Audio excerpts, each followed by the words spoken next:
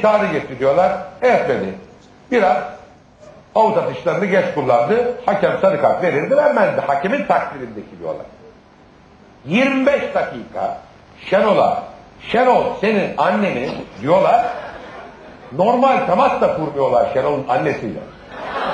Hashtag söylüyorlar. Normal yoldan hani girseler temasa diyeceğiz. Doğru. günah.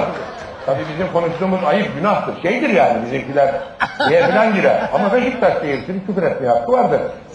Şenol'un annesine en az 25 dakika senin anneni bilmem neresinden bilmem ne diye küfür et. Sen de kardeşim. Lütfen kampanyası var hocam. Federa- Federasyonun lütfen kampanyası var. O zaman ben de diyorum ki seyirciye Beşiktaş seyircisine Beşiktaş seyircisi. Şenol'un annesini lütfen normal yollardan götürün. Ters yollardan götürmeyin. Lütfen.